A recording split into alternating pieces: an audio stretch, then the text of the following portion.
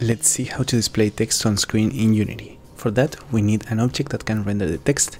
In this case, we will use the text component of the canvas.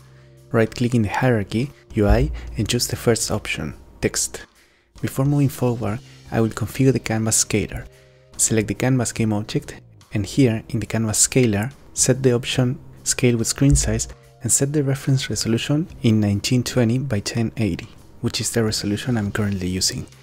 Now I will configure the text component a little bit.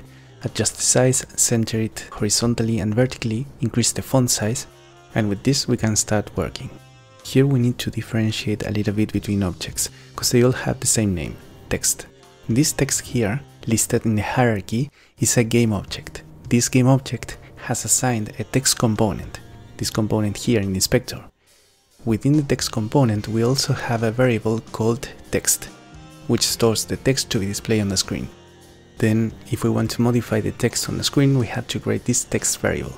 For that I will create a new script. Right click, create C script, and name it showText. Inside the script we will define two things. Two public fields which will appear in the inspector. The first one is a string, a string type variable to store the text that we want to write on the screen. And the second one is a text type component, an object of this type, of this component. Notice that it gives me an error because this component is inside the unityengine.ui namespace and here we're not implementing it. To solve it, we have to implement that namespace using unityengine.ui. Now we have to assign this script to at least one object in the hierarchy. It could be to any object, but in my case I will assign it to the camera. Drag the script to the camera and here we see those fields we defined. In the text value, we can write a text, and in the second field, we have to assign a text type component. We can drag directly the game object text, because it has a text component assigned. Doing that, we have the reference of that component, and now, to write the message in this text component, execute the following instruction.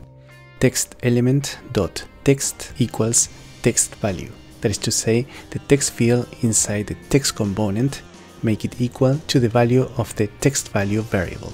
Save the script, enter the play mode and here we see that it works. Notice that if we modify the text, we don't see that change on the screen. That's because this instruction is being executed in the start method, and the start method is only executed once before showing the first frame of the game. If we put this instruction in update for example, we would make it execute once for each frame and consequently each time we modify the text here, we will see the changes on the screen. That's all I wanted to show you, hope you find it useful and see you next time.